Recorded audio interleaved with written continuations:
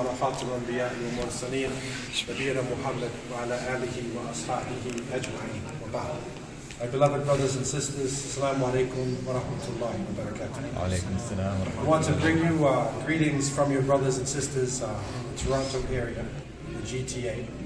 And I pray that Allah Azza wa Jal uh, will bless this community and protect you and guide you in these very difficult times that we are going through. The events that are happening in the world uh, are moving at a rapid pace. And every week, it's like something different is happening.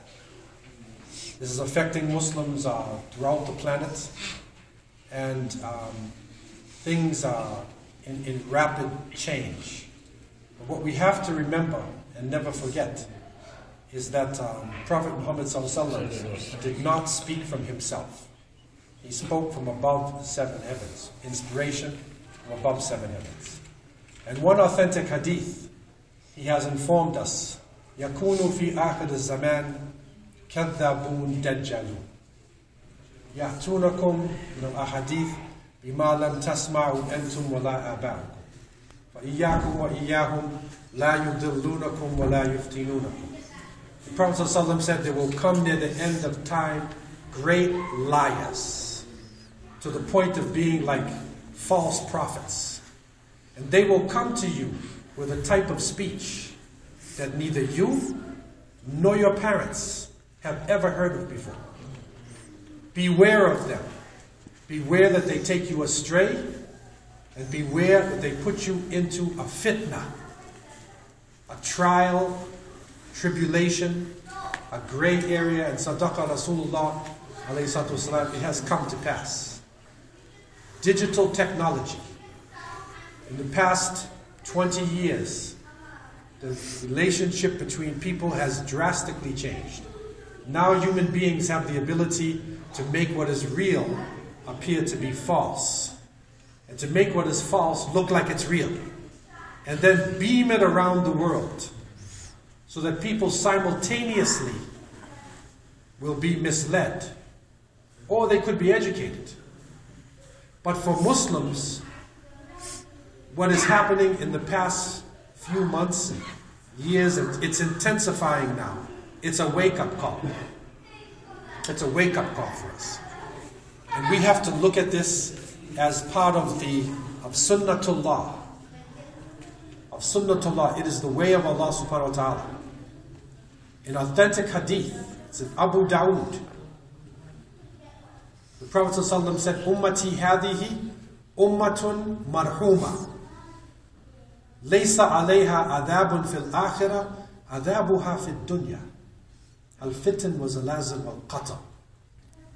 The Prophet ﷺ said, this my nation is a nation that has mercy on it. Its punishment is not in the next life, but the punishment is in the dunya, here. And he named three things. Fitan, zalazul, qatl. Three things. Fitan is the plural of fitna.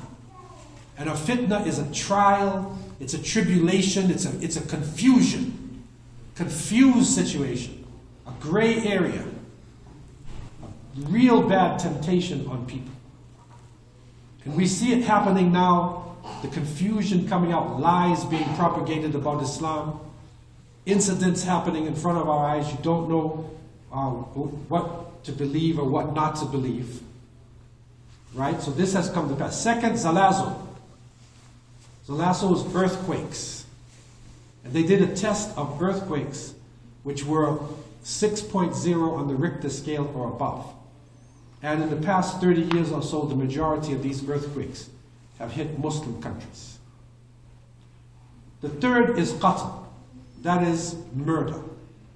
And you see how the blood of Muslims right now on the international uh, you know, scale is cheap of things that are happening you know, in the world today. But this is a wake-up call. It's a type of purification that we have to go through.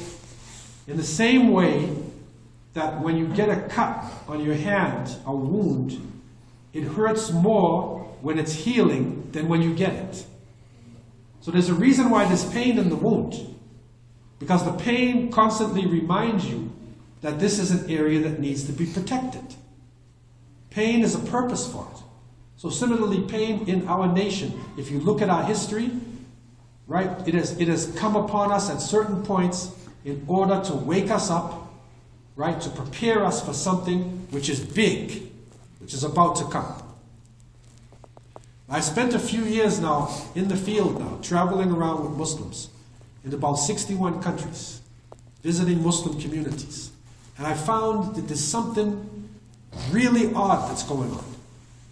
Number one, if you look at um, our numbers, our numbers are huge.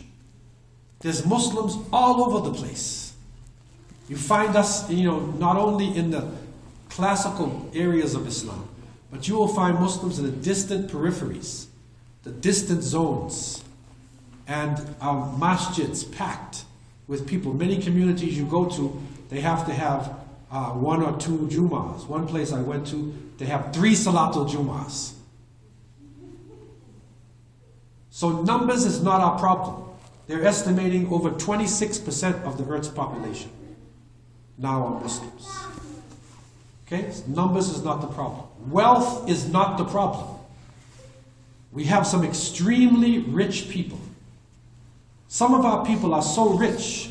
You know, they have uh, the top 10 rich people in the world, and I think recently they put Bill Gates uh, on the top again.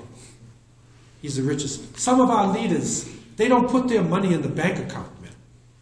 To know how rich Bill Gates is, you got to go to his bank account? Some of our leaders, they don't have a bank account. The gross national product of the country is his bank. So you cannot even understand in numbers how much money they actually have. We also have large standing armies, thousands of men at arms. We have universities, we have knowledge, we have potential, youth. But there's a serious contradiction going on here. And I want to leave this, you know, this thought with you to, to think about. This is what we're trying to understand what is happening. Because historically, this contradiction has reached an epic point at certain points in Islamic history. And that is the potential is so great, but at the same time, there's a contradiction. With the great wealth, there is also great poverty.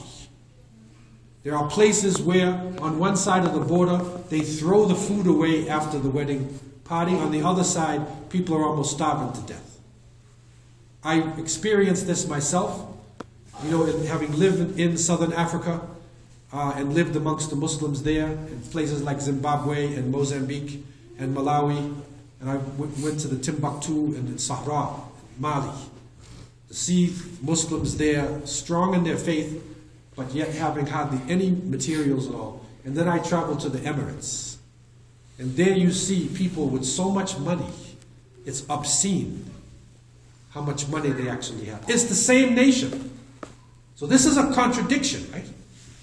You have standing armies, but yet we're not getting the result from this. Okay, so, so this, a, this is a contradiction now. And this is what we're trying to see. What would be a solution to this. I'm putting this out to you, especially the younger generation.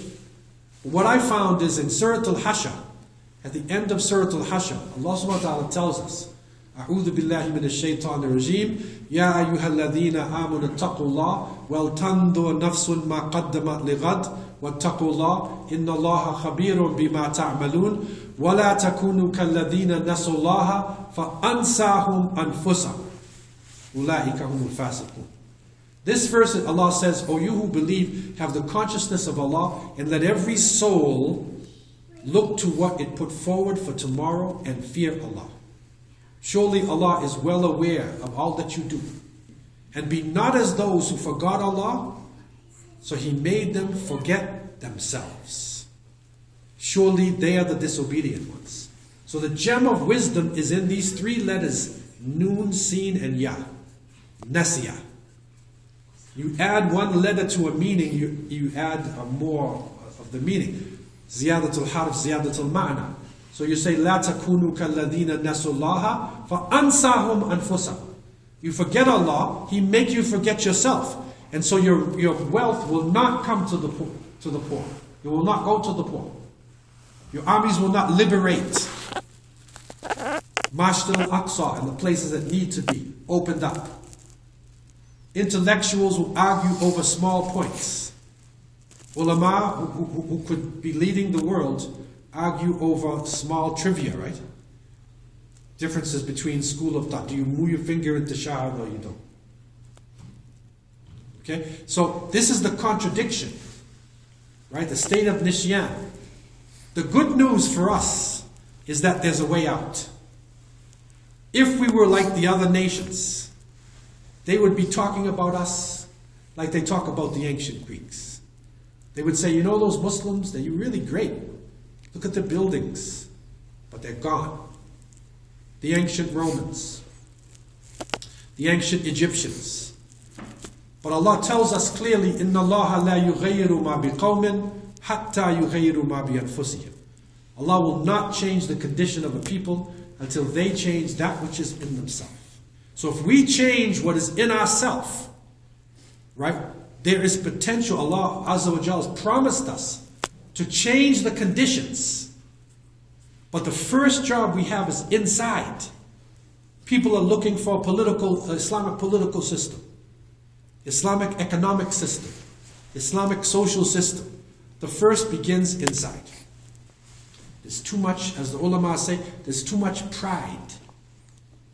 People are proud of their color, proud of their height.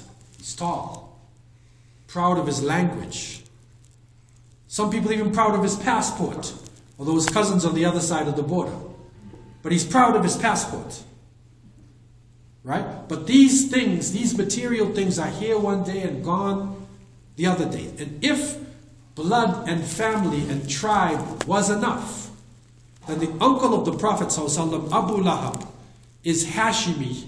He is the prophetic blood and he's burning in hell. So blood is not enough. Right? And we're in fool's paradise to think that, that if you come from a certain country or your family's a certain family, you're saved. Right? It's our actions now. We're being called to account right now. So, pride. Pride, we have to now do something. First is to think about Allah Azza wa Jal. Think about where we come from. We all come from a humble place, and we will return to a humble place. Right? Even you can be the most beautiful person, woman in the world, the richest man, nobody's going down there with you.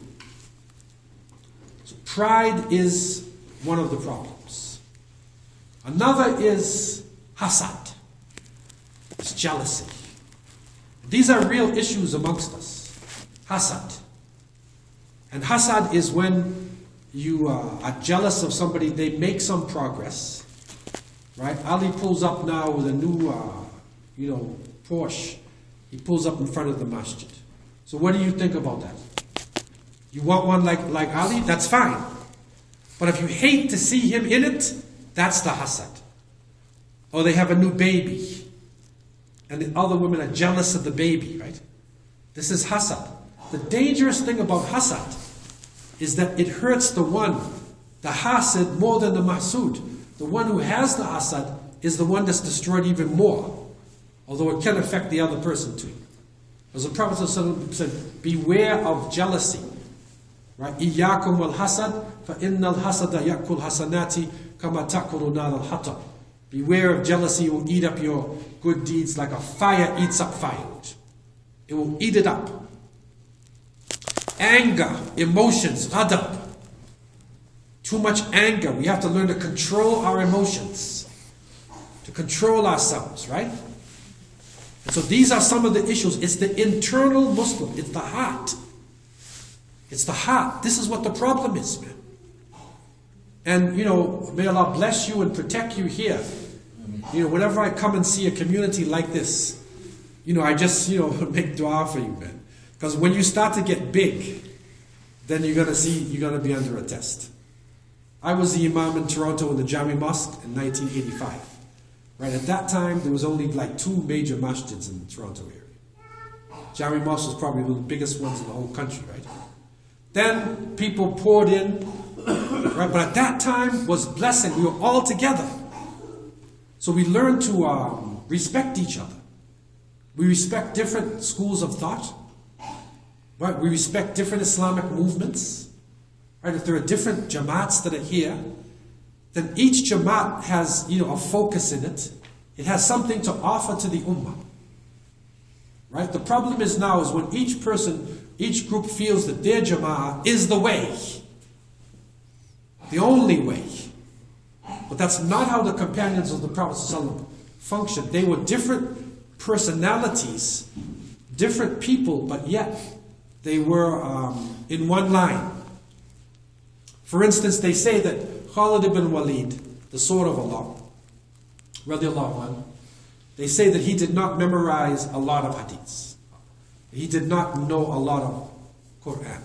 So when it was time for salat, the people did not, they'd see Khalid, they look around. Abdullah ibn Mas'ud.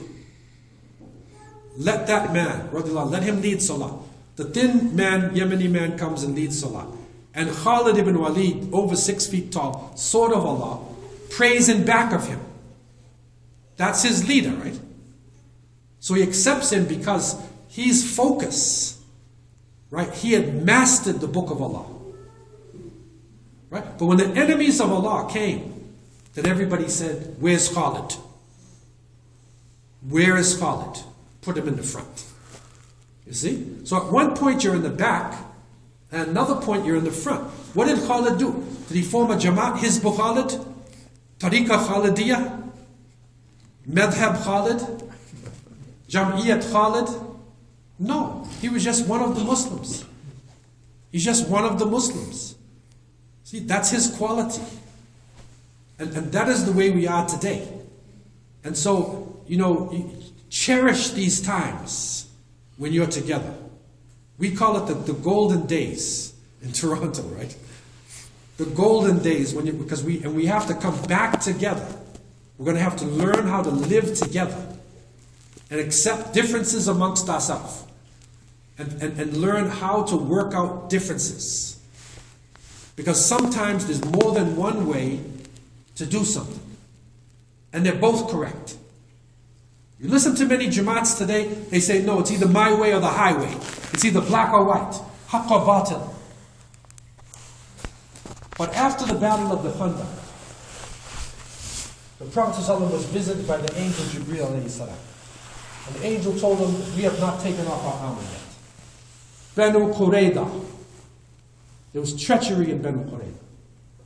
So the Prophet ﷺ said, Anybody who believes in Allah on the last day will not pray Asa except in Banu. They have to head south in Medina, right? They're going south to the area of the Yahud. And as they're going south, everybody's moving, the word went out, so we head south. Different people have to go different places because you got to go home and put on your armor or whatever you got to do, meet down there. Everybody's moving. Some people are on the road, and us is going out. Now, what are you going to do? Think about this. Some of them, some of them said no. Allah subhanahu wa ta'ala said, Inna salata kanat al mu'minina kitaban mawquta. Salat is written on us. I'm making my asa pray. The other one said, said no, the Prophet ordered us to pray in Banu Qurayda. So I'm, I'm going to wait and I'll make it even if it's after Maghrib. Okay? And when they got there, they started arguing. If it was us, there'd be two or three masjids there. Two or three jamaats. Right? And they went back to the Prophet ﷺ. And if you know the answer, don't, you know, answer it. Many of you do. If you don't know, you, you can try. How many of you, just offhand, if you were in this situation, how many of you would pray your asa on the road? You all know the situation, right? The Prophet said, pray in Benu asa. You're on the road there, and it's going out. But he commanded you, right? Man yuti' Rasulullah faqad ata Allah. That's what Allah said. You obey the messenger, you obey Allah. How many of you would pray on the road? How many of you would pray in Qurayda? Some of you are not make making awesome. okay, again, how many of you pray on the road? Okay. In, in Qurayza, when they went to the Prophet ﷺ, he said, You're both right. Both of you? Correct. Because they made their own limited ijtihad, right? Not a scholarly one, but the limited one. You have to make a decision. And it was based on, you know, good sources. Your niyyah was clean, right? You have a good source for it, and you made your and, and, and you made a decision. The other one's niyyah, the intention was clean, had a good source, and you know he, he was correct. So although they did different things, both of them were correct. Think about that. And think about some of the problems we have, right? Sometimes people have differences, you know, amongst them, and both sides have good intentions and sources, right? And they're different. But does that mean that we have animosity? No. Right? We, have to learn to accept differences and learn how to work out differences amongst ourselves. This is a really important point. Right? And, and, and to see ourselves as a people of the Qibla. Right? We follow the great Imams, you know, because they have laid down, uh, you know, a system for us. Okay? But you cannot be blind followers. You need balance now, right? You got to accept other schools of thought. I went to a country once, and the Imam read Salat al-Maghrib, um, and then I, I said, Waladallin. I was the only one in the mosque. I said it out loud. After they said Salam alaikum, they said, Where's that shaitan? And they came to get me. Right? So then they came to get me. Right, I'm the shaitan that said Hameen out loud. Right? I said, get Bukhari hadith. And they looked at it, and it said the Sahaba said it so loud it shook the building. They said, we didn't know that. Like we didn't know that. Because of a narrow uh, approach, right? So that broad approach is important. Also, respecting other movements within Islam. Other people who focus on certain issues, that's good and other groups focus on other issues, that's good. At the end of the day, we should be in the same saf. We have to be together. It's really important now because there's moves being made intentionally to divide us. And if we are divided, if we are a divided nation, we fall. It has happened in our history before. If tribalism and nationalism comes in, pride of yourself, pride of your family, we fall. Right? When that leaves, then the Jama'ah comes. Right? Then we will realize the potential that we have. We have amazing potential solve a lot of the problems of the world we could be solving. But there are people who want to get us caught up on these small little issues. The small little things happening and popping it up. Muslim did this, Muslim did that. Every other thing they want to make get something else. Right? Whereas in other nations, similar things are happening. But the whole group doesn't get blamed, right? This is a London situation, right? If a person is standing there with blood on his hands, right? You all know what's happening in London, right? Yes. If he's standing there with blood in his hand and a meat cleaver, and then he's saying, "Oh, excuse me, uh, lady, the lady shouldn't have seen it." Excuse me, you just chopped somebody up, man. You know what mental state you have to be in to do that? It's either that person has, has a serious mental problem or somebody pumped drugs in him. Because that, that's not a logical, um, that's not a logical movement. That's illogical movement. Right? Blood pouring all over your hands. Something has happened to that person. Right? They call it, when they come back from the wars here, they call it what? Post-traumatic syndrome. He had a trauma, man. Something serious happened. And if that was a, a, a white British man, you know, who did the Andre Breivik, right? The one in Norway, who gunned down the people like animals. And he even said he's part. He even told the right wingers he's part of the right wing movement. They said, no, he's crazy. He said, no, I'm not crazy.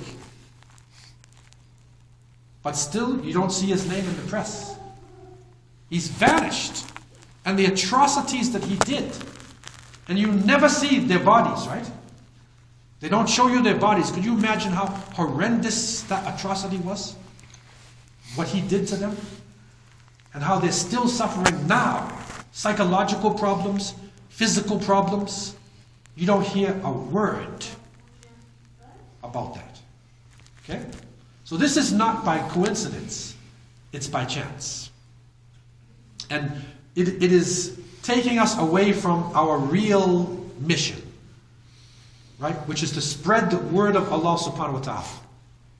To stand for righteousness, prohibit evil, and spread the word of Allah Azza wa Jal. And, and we can never forget, you know, what our mission is. We have a very serious mission. And here in these lands, we have big opportunities, right, to be able to spread the word of Allah in these lands. Right, so this is a very crucial time, and you know, I've come here to you, you know, about a project we'll be talking more about in, uh, in Nunavut. Right, that now, alhamdulillah, there are people embracing Islam, you know, far in the northern region.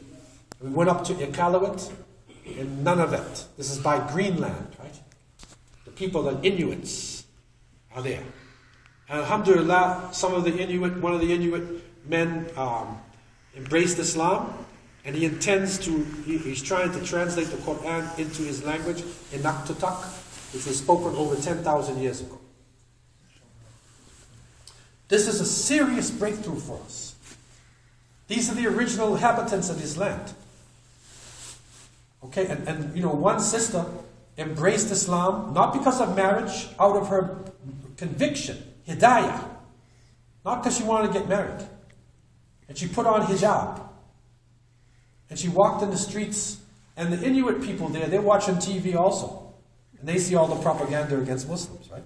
So they saw her in hijab and they said, Oh, you people are up here also? And she answered them in pure Inuktitut. And they were in shock.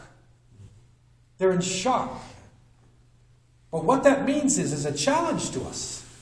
That somebody's got to explain to them what Islam really is. Who's been up there to explain it to them?